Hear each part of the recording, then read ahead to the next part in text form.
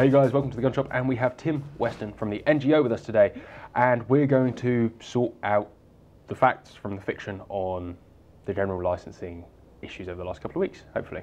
Hopefully. Welcome. That's all right. Nice to- thanks for having me. Uh, so I'm going to hand over straight to you, and what happened? Why are we where we are now? Well, it's it was a very quick turnaround of events. So back in the early part of last year, there was a legal challenge to Natural England over the validity of the general licences by an organisation called Wild Justice. And they brought a judicial review against Natural England for the way the licences have been issued. Uh, that everybody was aware of in terms of the shooting organisations, the farming organisations, and what they term themselves as the conservation bodies. Uh, there were meetings with Natural England where they were fairly confident. In fact, they assured us that they would fight the court case and they were confident they'd win or they'd never brought it to court. What, what I understand happened, uh, the case was due to be fought on the Thursday Last Thursday. last Thursday, so Thursday, I can't remember the date, 29th. 29th.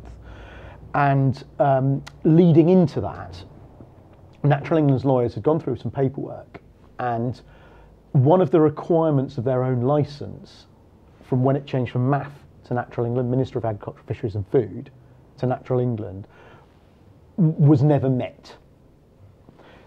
Which A technicality, essentially. yeah, I believe so. I'm not a lawyer, but I believe it's it's it's purely on a technicality. It's not a point in law. So Natural England's lawyers advised them that possibly the old general licenses were illegal. And they would lose the court case, costing much money and embarrassment. That's what it seems like. So so rather than fighting a case they would possibly lose and where they'd have to pay costs to the other side as well, they decided to revoke the license. And that happened last Tuesday, the 23rd. Yeah. Uh, Thursday was the 25th. Yes. And it was revoked within 36 hours. The 25th was the day that it was supposed to be. Yeah, midnight on the 20th. Yes. So Natural England released a press statement at I, I, I think it was 2:35. About that. Yeah, saying they were going to revoke the the, the uh, general license. They didn't send the NGO, and we presume the other organisations we have been speaking, the, the full details of that to 15 minutes after they'd put the press release out. So the first we heard about it was when they'd already put When the press everybody release else had heard it. yeah. So there was no consultation between the, what they call the stakeholders, and that's that's that's all the organisations. That's BASC, NGO, RSPB, um, Countryside Alliance, Yeah. NFUCA, CLA. So there, there was no consultation on, on on the section of revoking the licence. The first we knew about is when they decided they were going to do it. Which probably happened a few hours before they made a press release statement on it. I One mean, that, that, yeah, that'd be speculating, but one would have thought so. Yeah. Um, For them to not give the courtesy of at least saying, Yeah, "Oh, guys, it, it, it was a, a very rushed through decision. Now, from what I understand, the the organisation Wild Justice that took out the original court case were asking it for the general license to be re-reviewed in January 2020. So uh, uh, they didn't want it revoked within 36 hours either. They, they, they all they were asking for was the licenses to be reviewed in 2020. So Natural England made a very quick decision It was very interesting, as I, we all we're all currently demonising wild justice, and I understand some of their policy and some of their requests, having read their uh, manifesto, if you like, is a little a little extreme. But for the majority, like you say, actually to say they wanted it reviewed, it seems Natural England have taken a little bit of a step too far, maybe, or a knee jerk, or just was money saving because they didn't want to co- go to court. I, I honestly don't know because I'm not in, in the internal workings of Natural England. I, be, I believe their lawyers asked them or advised It them would that be it was illegal. yeah. And I think once a government body discovers something they're doing is illegal, they must stop it immediately, Yeah. and that's their take on it. Um, I mean, let's cut to the chase. If, if there was no legal challenge to the general license, we'd still be operating under the old general license. Uh, thousands of Yeah. songbird, wild uh, curlew nests, grey partridge nests, and pheasants nests wouldn't have been um, destroyed in the last week. Yeah. And my personal opinion is UK wildlife is in a worse state now than it was a week last Tuesday. I would agree with you, and it's only going to get get worse. Yeah. Yeah. given that it's not just the breeding season for the birds we'd like to protect, it's also the breeding season for the birds that Yeah, are, exactly. were on the general license. Exactly. Exactly. So everything happens in spring. Timings wise, it's the worst possible time from a gamekeeping point of view. um, you couldn't you couldn't have the general license revoked at a worse time of the year in terms of wildlife protection. You know, I really think that. I think in terms of crop protection, it's not as problematic. No. But it is problematic. So let's not pretend there isn't a problem there. There is. Um, and in the next few weeks, in fact, some will have even started now. People are going to start drilling maize. Some forage maize is always in the ground, already in the ground, um, and that's a big problem with rooks. You know, we've all seen the rooks walking along a row of Going maize, straight down the lines. picking up. A lot of maize is grown for biofuel now, for digesters. So potentially, I mean, this is really far fetched, but potentially we're going to be impacting on um, green energy because we're not going to be able to grow as much as it. So, so, so that it's it goes far-reaching. further It goes that, further, yeah. uh, if you think from a green perspective, is we already import like 48% of our food in this country, uh, and that is only going to get more if we can produce less. yes. And that that's not a green thing to put stuff on a ship and bring it a thousand yeah, miles to absolutely. us. It's from a world view of health and conservation perspective, it was a very silly. It's a very silly thing to do. It is. It is. I mean, at, at the minute, the NGO's main focus is is sorting the mess out. Okay. So that's where we are. That's what we're focusing on. And and we're in terms of staff, we're a small organisation, but we are working with all the other organisations. And I, I've got to say, the joined up working's working really well, and it is it is almost 24 hours at the minute. Wow. It's it's it's been full on for 10 days uh, with no let up. And all the organisations are working together properly. I mean, there's obviously, from a community perspective and a community standpoint, is everyone's very angry um, that the, the organisations didn't have a crystal ball, but Yeah. they are working together, and it's not, it's not. That's good to hear. It's reassuring to hear that everyone is actually pulling together, which is everyone what everyone's been calling for. It's nice to hear from first hand exactly. that it's actually happening. Yeah. So I think I think the thing we've got to understand with the organisations they they are going to be different. They are going to be differing views because they represent different parts of the shooting sector. Um, you've got the likes of the NGO who are at the I always call it the pointy end. We're at the people who provide the sport. Yep. You know, without gamekeepers, really there is very little meaningful shooting in the UK. And when we say gamekeepers, we don't mean the gamekeeper on the shoot on Exmoor who's got five underkeepers. We anyone who's a gamekeeper in within our organisation is a DIY syndicate who are doing gamekeeping. They're still gamekeeping, so we count them as gamekeepers. So even if you're in a walk one stand one shoot, you're feeding pheasants, you're you're you're producing wild birds or duck ponds, whatever it is you're doing. That's gamekeeping. So without those guys doing that, even the DIY shoots don't exist because there's nobody gamekeeping. And so, so that's who we represent. BASC are a much broader church. They represent um, predominantly the shooters, and, and so do the Countryside Alliance. Um, Game Conservancy are, are, are, are science, our, our science body. They're actually an independent science Yeah. body. Science is science. So um, as a group, the, the NGO, the CA, and BASC are working really closely together in constant contact Yeah. and sharing information, and it's it's a constant round robin. So members of all the organisations, doesn't matter which one you're a member of, be rest assured that your organisation is doing everything they can. Everyone is, is benefiting from everybody's work at the moment. yeah, which is uh. It's, it's how it should be. Definitely, definitely is the way it's working. Um, it's not partisan. No one's trying to point score to gain members because it's not about that. Yeah. So it, it genuinely isn't. This is this is where everyone comes together. Um, so that's a good thing. Um, they're working at quite high levels. The, the NGO are updating a lot. I know some of the organi- other organisations decided not to do that. I receive very, very frequent emails. Yeah, so we Yeah, it's- are, it's handy. we're, yeah, we're Yeah. sending. Uh, we I think none have gone out today, which is the first day since it's happened. But there was one or two a day. One or two a day. uh, So we need to update everybody as to what's happening. And the reason is because of the time of year and because keepers need to be controlling uh, predator species to protect wildlife and game. and there's so much fiction going around about what's happening, what to do, and how to act, and how to gain your new general license and such, that it is actually really handy to have some clarity. And I must admit, I've read every email because it's it's fact. Yeah. Hopefully. Yeah, no. It, What, so one thing I will say, anything you read on social media or your mate Dave down the pub tells you, please check it on either the NGO, BASC's website, whichever one you decide to use, and don't operate unless it's absolutely fact. Just because Jeff told you it was all right. Well, it was about two days afterwards where everybody's like, "Well, I can still shoot them for crop protection." No, you- can't. Yeah.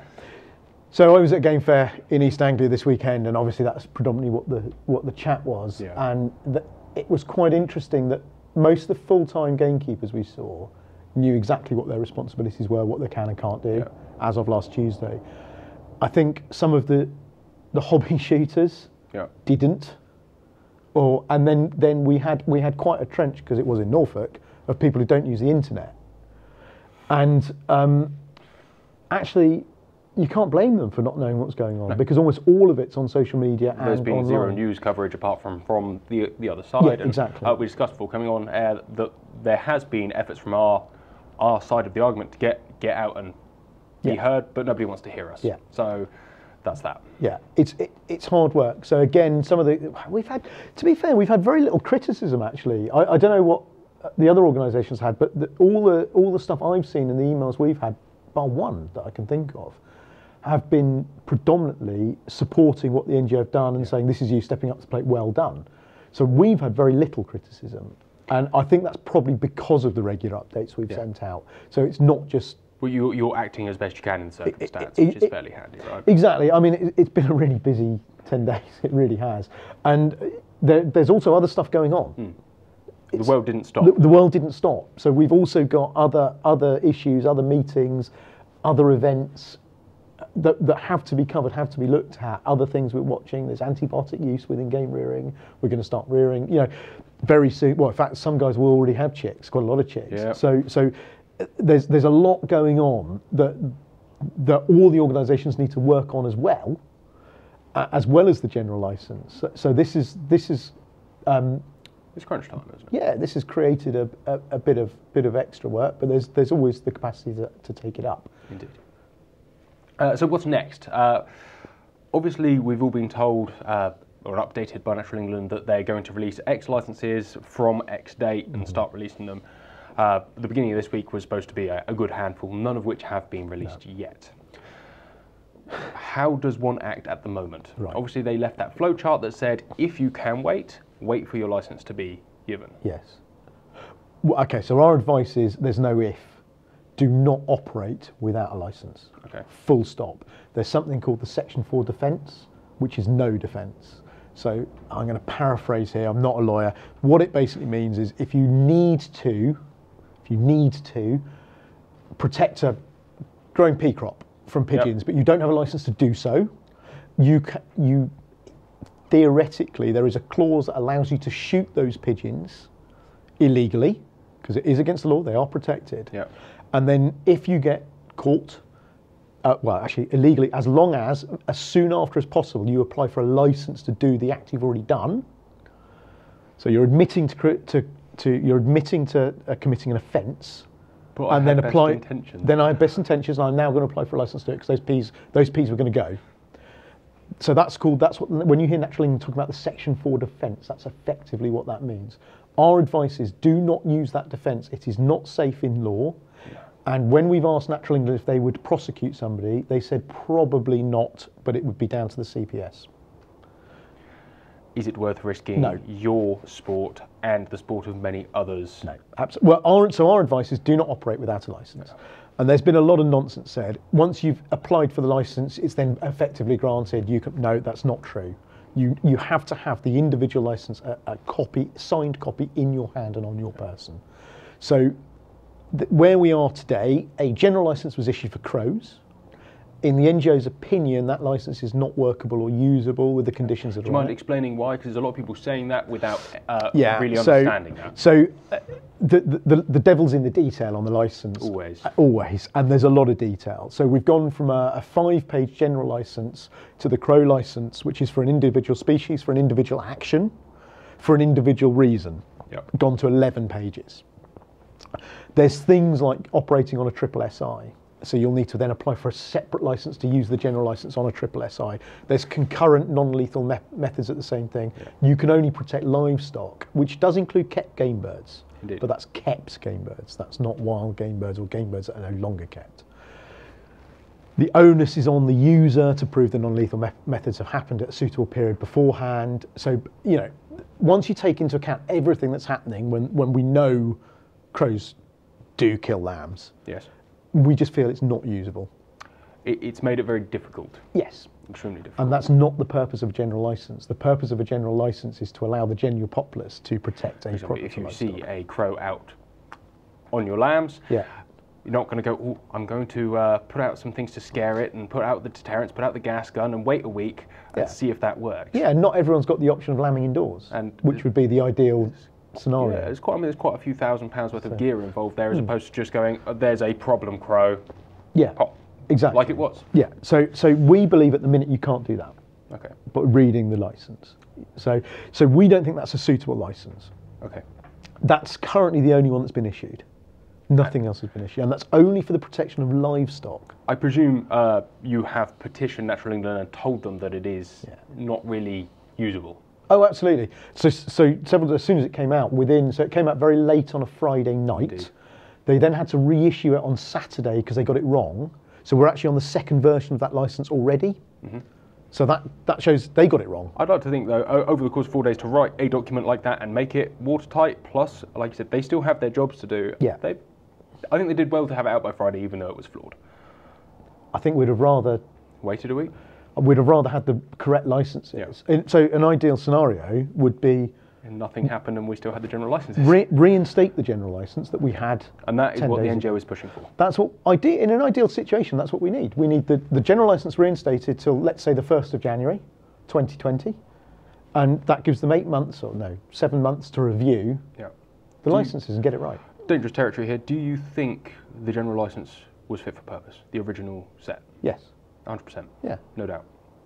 From my point of view, no. But I'm, I'm sitting on this side of the table. Yeah. So we, we had a general license that allowed us to control crows, certain corvid species, and certain pest species for And agricultural. we didn't wipe any of them out. That's what I was going to say. We didn't wipe any of them out. The populations are still healthy. They were they were used for the reasons they were intended to be used for. So eh, the licensing system, in my view, was fit for purpose. Um, I, We were just very well self-regulated. I, th- I think so. So I, I was I was keepering before I worked for the NGO, and I used the general license to control corvids. I've never been a big pigeon shooter. I used to let other people do that. But if if we we used to drill peas in the old way, where we drop them on the field and then plough them in, and that that would be those fields would be blue. So if we didn't, if we weren't able to deploy someone to shoot the pigeons, we potentially would lose hundreds of acres of growing Yeah. crop. So the, the license worked. Pigeons are not in, not red listed, not amber listed. Um, they, they were regularly shot for crop protection. Crows and magpies are, are in no shortage. No, you'll never wipe them out. No, and and the the people operating using Larsen traps and cage traps and shooting And there's whole laws belted around them to keep that Yeah, proper. absolutely. So they, they were using those traps for conservation or protection of wildlife or livestock, and it was working. Natural England have put us in this position by revoking that license. And it is Natural England that revoked the license. They made the decision, not anybody else. Whether the set was forcing them or not, they made the decision with no consultation. And that, that's where we are today. Uh, so they said, um, I believe there was due to be consultation late summer. Am yes, that up? yeah. Yeah. Uh, who was going to be involved in that? It'd be what they call the stakeholders. So it would be the likes of the NGO, uh, BASC. So they would actually come to shooting, farming, Yeah. countryside people Yeah. per se, Yeah, hunting people, shooting people, farming people, Yeah. and ask, what do you require out of this? Yeah, they more they sort of more get one. This is what we're going to do. Does this work for you? Okay. Okay, that's how it works. And then you say we don't like that bit. That bit's great. Uh, one presumes they also go to the people who like wild justice and put it to them, or is that? I, yeah, I don't know. They're a lobby group. They would certainly go to the likes of the RSPB Yeah. and possibly RSPCA. uh, the RSPB, wild- who are very sensible Yeah, people. yeah, they can be. Sometimes. Um, the wildlife trusts, um, those sorts of people. Yeah. So it tends to be that the users of the license get asked. I, I, I don't know if they'd consult with Wild Justice, but um, certainly people like the RSPB who, who, who do use, did use the general license. Yes, indeed. So the, the, the, stakeholders are all consulted, and, and that goes across That's very government. interesting. That goes across government, whether you know they're changing a bus lane or something. There, there is a stakeholder consultation. Uh, is that still in the pipeline? Do you think? I, I don't know. I would yes, because I, I, I would imagine. As I'm saying, I don't know. Yes, but I, I would imagine the licenses are going to have to be changed. So what they're putting in place now is a temporary measure. Yeah. Well, it's they're all dated the thirty first Of December, Yeah, yeah. So, so the individual licenses are what you're going to need. And, and one thing we've got to do, we need to draw a distinction. And one thing I've picked up by talking to people over the last week, and I was at a big event up north yesterday, um, which was actually about deer, but ultimately all I spoke about were crows. Um, so the the definitions that are being used, people are getting confused about. So, do I need to apply for a general license? Is one of the the main questions I'm getting asked. No, because it's a general license. Yeah. But if you want to shoot pigeons, or no, not if you want to, if you need to shoot pigeons today, you must apply for an individual license. Yeah. And you must Which is still titled general license. It is, but it's it's an individual, Individual license. general so, license, yeah. it- yeah. So so as long as people understand the definition, the, the difference between the two, the general license, the individual license, and where we are with it.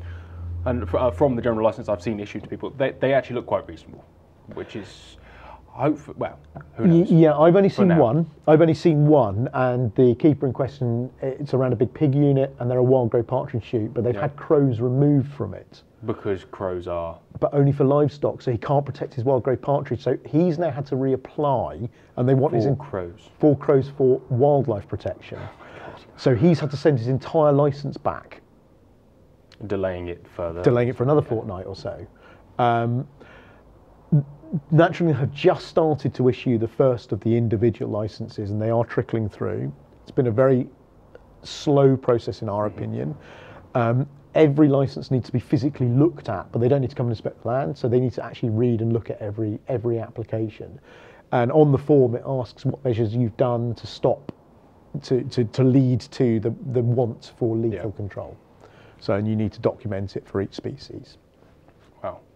Yeah. It's quite serious, isn't it? Yeah, I mean, it's it's the form's changed. It's not the the application process isn't very different from uh, what if you need to prep fisheries from cormorants Yeah. or or uh, livestock from buzzards, for example. But they've gone from an average of about five applications a, a week Yeah. to thousands. Yeah. Well, it would. Uh, the site crashed, didn't it? On their inbox was full by Friday afternoon. Yes. When it opened, which Yeah. was. And they had, you know, they Well, I, I- can't imagine them being any more prepared than we were for this situation. They were going to go and draft 30 staff in and go, oh, yes, we've got this all planned within a couple of days. no, they don't have the staff to draft in anyway. So, so you Not know, the budget to do so. No, or the budget to do so. So these are all issues w- within our, our argument, Mm-hmm. saying, guys, look, you, you've, you've revoked the license. You, you've said quite clearly you're going to have something in place in two, Yeah. two, three days. How? Um, who's A going? plan, To, a yeah, plan, a plan suppose, would be yeah. great. Which they- Which they did say, give us a plan, Yeah. which has been it's totally fallen down the wayside, and there's been no comment as to why. They- They've got a couple of days to release uh, Um, seven individual licenses for individual animals Yeah, and yes, but and then be fit for purpose.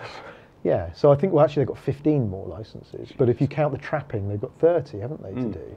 So um, the crow one they didn't get right first. Yeah. Let's let's so we, we've got a This is GL26. GL 26. Yeah, I'm actually losing track of the numbers now. I used to know them all, but um, each license that comes out, we are scrutinising it and then going back to Natural England and say saying yes or no. We haven't seen them yet because they're not out. Yeah. Um, and we did. We have gone back with the crow license and said, look, naturally, this is not fit for purpose. They, they amended that over one day, but have not amended it further. No, and we still we still would like a, more workable license.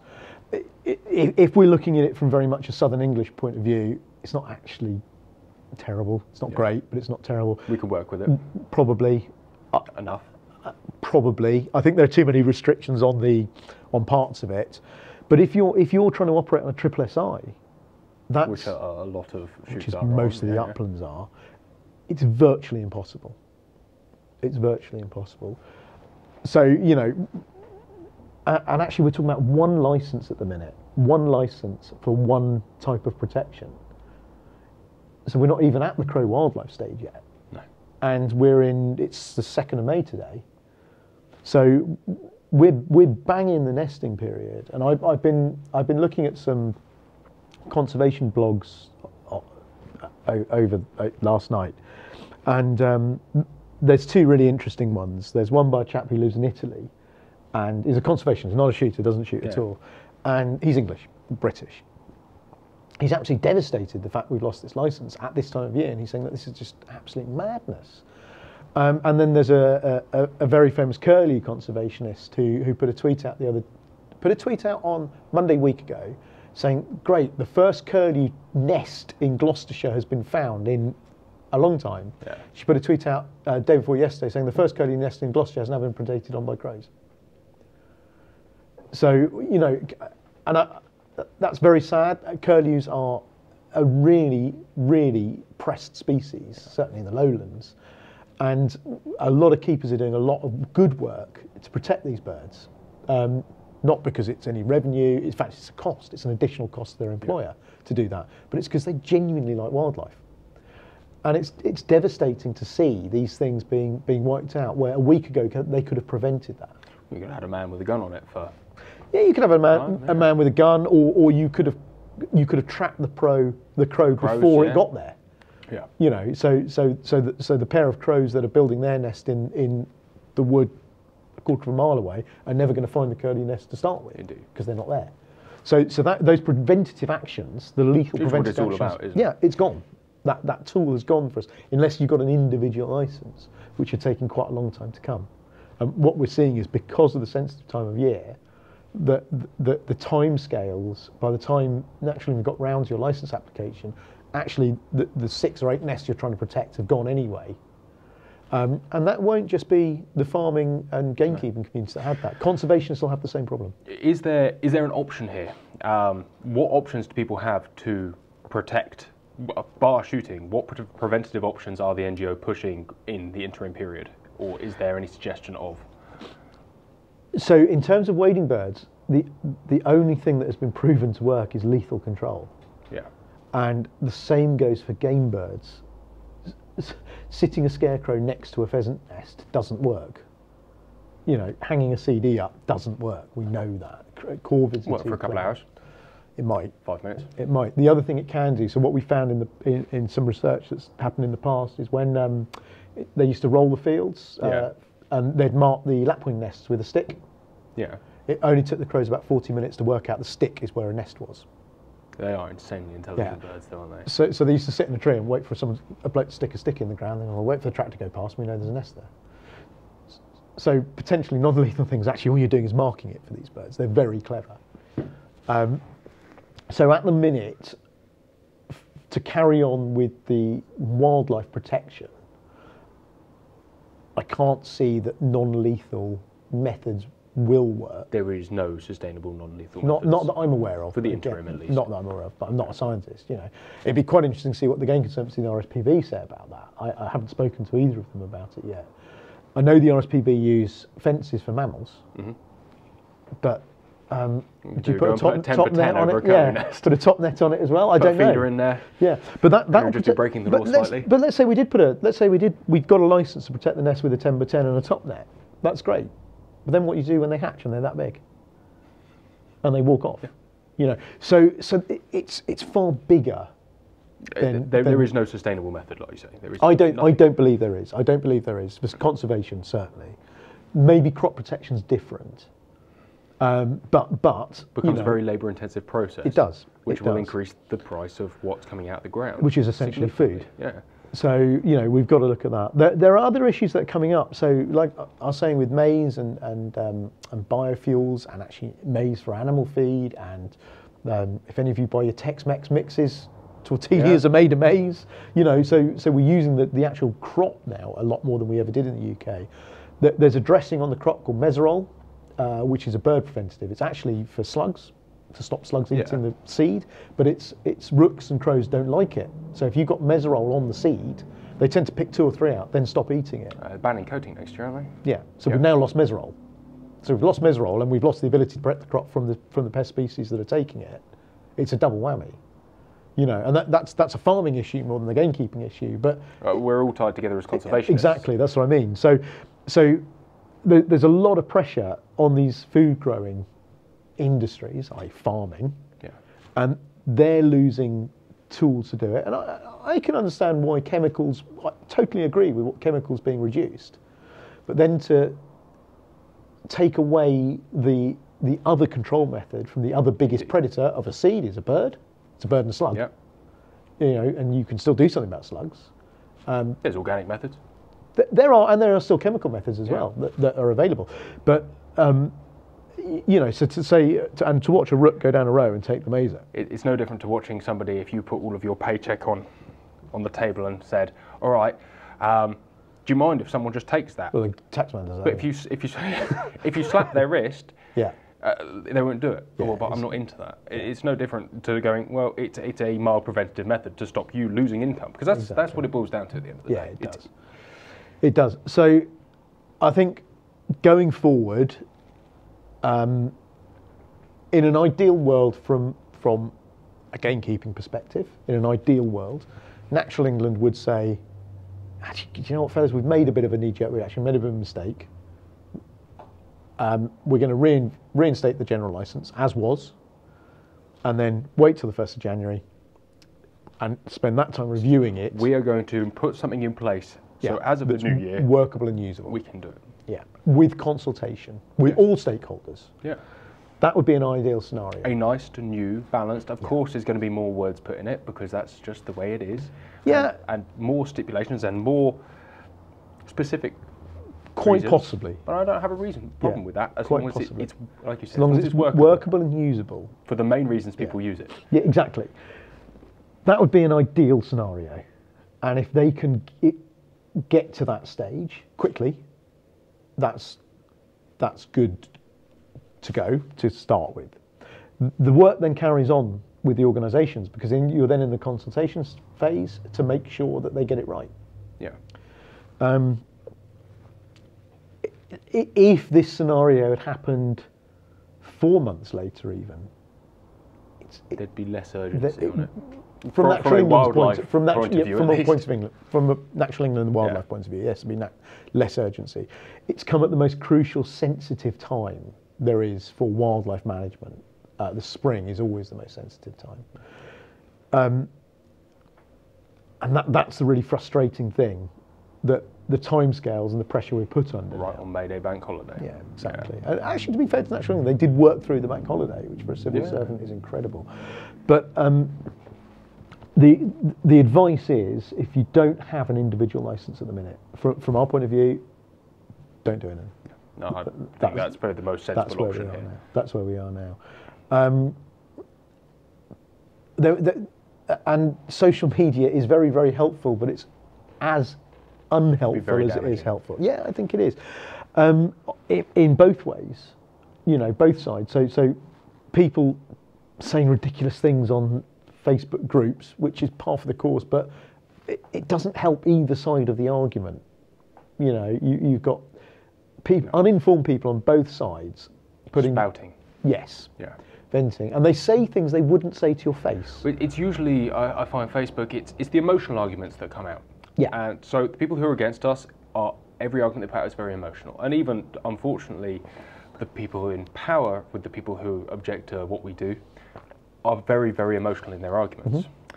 Unfortunately, we suffer the same Yeah, emotional spouting on Facebook and social media Yeah. that makes us all look really stupid because the only thing that we really truly have on our side is science.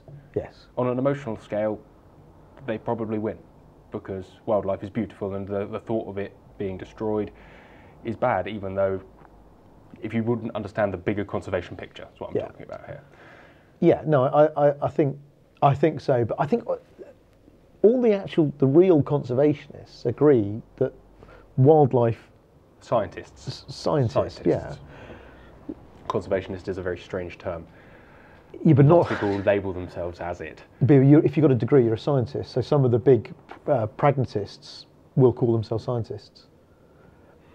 So, so I, I- I think if we use the term conservationist to True conservationist. yes, to, which which would encompass a gamekeeper, Science-based conservationist. exactly, which would encompass a gamekeeper and an RSPB warden Yeah. and a wildlife trust employee, um, the woodland trust, etc. Anybody involved in looking after the countryside zoological society. appreciate. I- I- yeah. Exactly. Most of those people can take the emotion out of the argument, Yes. and just like you're saying, and I, I, I, think that's where you get the most sensible debates, and that's where you get some really good discussion. Discussion. Yeah. Um, There's usually very little disagreed upon between people who understand the science of both of the I- argument. I, I- I think so, and that, that's where you can see people saying the general license is, is being used. Um, it, it's when you go to the extremes of anything. Basically, what you got is you got a curve, right? So you've got a curve like that. Yeah. And in the middle of the curve is is 95% of the population, who are fairly level-headed, understand things, read things, If and something was presented to them properly, would understand. exactly, and, and and quite frankly, are pretty indifferent. And then at the at the bottom of the bell of the curve, you've got the two and a half percent on each side that are nutters. And they're the ones that use social media, as far as I'm concerned. And you've got this big 95% in the middle that are pretty indifferent to everything. but can be swayed by the emotive arguments of both sides of the bell. Could, could be, could be. So, so you've got this. You've got this. Uh, it actually does have a term in in um, sociology, but I can't remember what it is. And and and that's really obvious on social media. So you got it. It's quite interesting if you look at like the click-throughs on some of these new new stories the NGO have put up. You're going to the, and one of them was 138,000 people read it. Jesus. Yeah, which was a lot. We're a small organisation. We don't get that many hits on the website. how many shooters we have, that's a large exactly. percentage. So on that particular, so that was a click through to the website. I can t- we can look and we can see how many people read the story. On that particular one, which is the largest one, there were only seven comments, and they were all sort of on either side of the bell.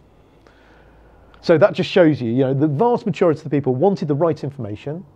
They, they wanted to understand what was happening. They just wanted to digest. They the wanted to digest yeah. it. They didn't feel the need to jump tell, up and down. Tell you off either way. Or, yeah, or us, or, or, or, or say this group of people are doing that wrong, and that group of people are doing that just wrong. have a little shout. I think so. Yeah. So, what what we're finding is people want the right information. There's they seven or eight people watching this now who go, I commented on that. Yeah, well, there Shame. might, there, there, there might be, but but they, they, I think the comments were hidden pretty quick. Um, so most people want correct, accurate, digestible information, and, and and I think that's what we need to provide, and what we are providing. I think sound bites aren't enough. I hate sound bites. Um, you know, we've done this today. That's not enough. You need to give the, the actual information. So through this whole process, that's what we've been trying to do and I hopefully people will understand where they are. And I think the understanding is far greater. Monday, after they issued the Crow license, um, was one of my biggest days of calls, and I think it just confused the issue even more because it was for one species, one instance, one one reason, Yep. and nothing else happened, and people were sort of wondering what they could do. Um, individual licenses you had prior to the general license being revoked still stand. So, um, guys, uh, pig, pig a lot of pig units have crow, uh, Rock issues. gull licenses. They still stand. Because they're, they you had them before. They were an yeah. individual license, but they, they can't shoot The rooks, the rooks and the jackdaws and the pigeons and the feral pigeons and the collared doves. to protect the pig feed and the pigs themselves. Yeah. which uh, I, was, I was talking to a pig farmer yesterday about. It is for an outdoor pig unit. It, it's it's not the food that's the biggest issue. It's the threat of disease. Yeah. Because a rook's flying from two units, Mm. and they use the water trough. They pick up the feed. And in a modern world of outdoor pigs being, have always been king in my heart, but Yeah. they are currently very fashionable, which Yeah. is brilliant. Yeah, exactly. But it makes biosecurity a real bastard. Uh, and that's the key word: biosecurity for the farmers with the rooks and the jackdaws is, and, and more so than crows because the crows aren't there in huge numbers. Yeah. But so so gulls, pigeons, you know, Yeah. all of this, all of the flying Anything that can pick up one and move it to another A- and they over do. the course of Yeah. th- th- And 20 or 30 miles over a week, Absolutely. like. And the reason you get clusters of pig farms in an area is because that ground is right for pigs. Yeah. yeah. So ideally, you want one here, 100 miles away, one Yeah. for biosecurity. Um, chicken units are generally indoors. Disease isn't an issue, but but we, we're going more and more to outdoor free range chickens, Which is great. Fantastic. It's, it's all good, but you you then got the the, the disease risk disease. disease yeah. Exactly, exactly. So, so at the minute, you can only control the crows there for the livestock. Yeah. You can't do anything about the jacks, rooks, and other species. Well, fingers crossed, mate. Natural England have something sorted by the end of this week. We've only got two a day, if not next week. Um, and that's as simple as that, I think we're getting there. hopefully. Yes, I think we are. I think the organisations are working as hard as they possibly can for their members, and you know, I'm here to talk about national gamekeepers, but but I, I we've been working with everybody. So it, it's, it's not an advert, but don't blame your membership organisation for this. Honestly, they are working as hard as they can. All of them are. So, and we're working together in constant contact. so, good. yeah, yeah, it's, it's good. Joined up working i- i- on this issue is the is the way forward.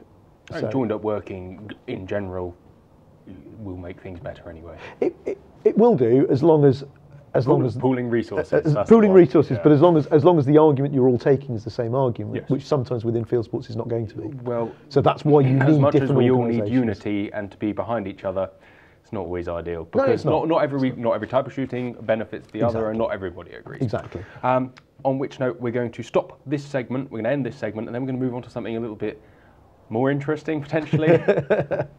um, uh, so thank you very much for, for that, mate. That's um, been really good. Uh, and guys, for those listening to the podcast, this will go seamlessly into the next part. However, for those of you watching the video for the general license information, hope you enjoyed. And um, watch the next video where we actually talk about something more long-term interest, hopefully.